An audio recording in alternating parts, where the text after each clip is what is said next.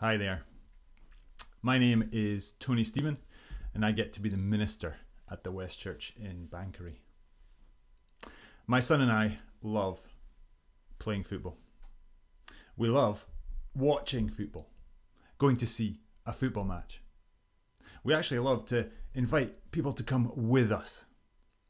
The last time we were able to physically go, we invited some friends the morning of the game and it was a bit tricky having done that because we did it on the spur of the moment.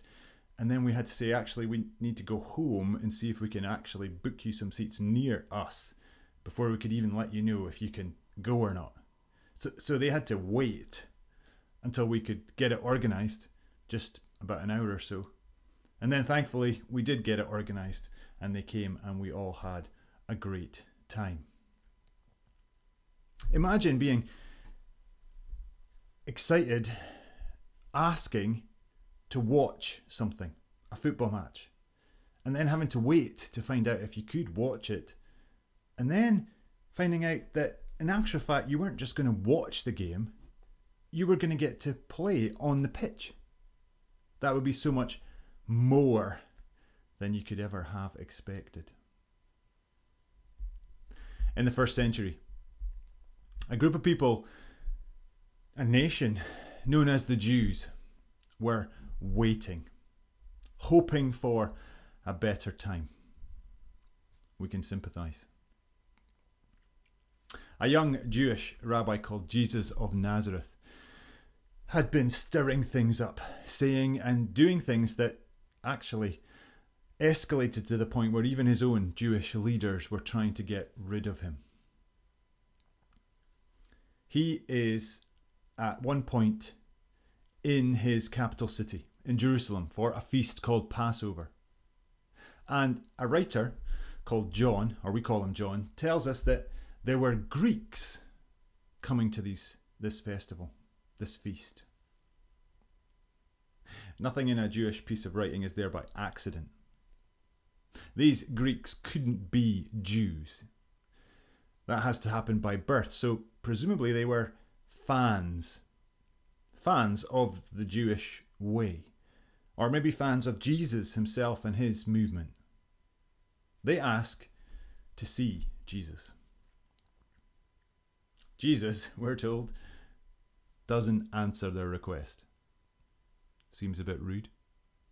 Instead, he goes on to talk about hours and seeds, making them wait. What is going on? Jesus says, according to John, that the hour has come. Which you've been working, if you've been working your way through John's story, because it's been 12 chapters about Jesus' life, you'll have heard that Jesus has been saying up to now that the hour has not yet come. But now, in response to this request, he says, The hour has come. The hour for what? He says, For the Son of Man to be glorified. Son of Man is a term that he's taken to calling himself. It's a name that would ring bells with his Jewish listeners because it comes from a book of hope they clung to in difficult times called the Book of Daniel. And in there, uh, one like a son of man is part of how God will put things to right, bring better times. The Jewish people had a fair idea of what they thought that would mean. Currently, they're under the boot of the Roman Empire. So, what they hope for, expect, is a son of man to be a, a warrior, a king, a leader, to gather another rebel army and smash the current empire and ideally set up a new Jewish empire. But this Jesus doesn't go for the expected. It turns out that their hopes, expectations, their ideas of what should happen have actually been far too small. Jesus talks about seeds. That when a seed is planted, it seems to die for the benefit of the, the crop that will follow. The Jesus story is about sacrifice, it's about death, it's about self giving love. The hour that Jesus talks about seems to actually be about rejecting the stories, the expectations of the time. To reject the story of empire, status, power, wealth, fame, consumption. This story is not about inward looking interests and lifestyle, or as he calls it, this life. It's not about their particular survival and interests, which is the way that the empire is encouraging everyone to think and to act. Instead, Jesus lives out a bigger plan God's plan. And this plan is not about empire, but instead about life. The life that he says they were made for. Life in all its fullness. Eternal kind of life. A life of service, of self giving, love, of sacrifice. The victory in the story, the freedom, is not from the latest empire, the latest lockdown. It's over far more than that. It's a victory over death.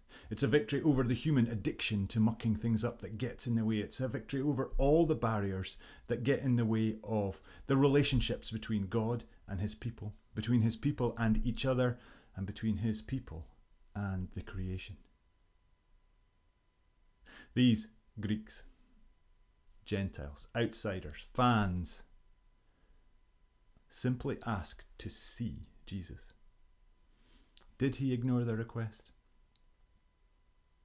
It seems to me that what this Jesus is saying and doing and living out in his life and his death and his resurrection means that there is good news. And the good news is that those Greeks, and in fact every outsider, gets to join in. To join in fully with what God is doing, to be who they were always made to be. So much more than they could ever have hoped for, to be partners in what God is doing. It's like asking just to watch and finding that you were always meant to join in.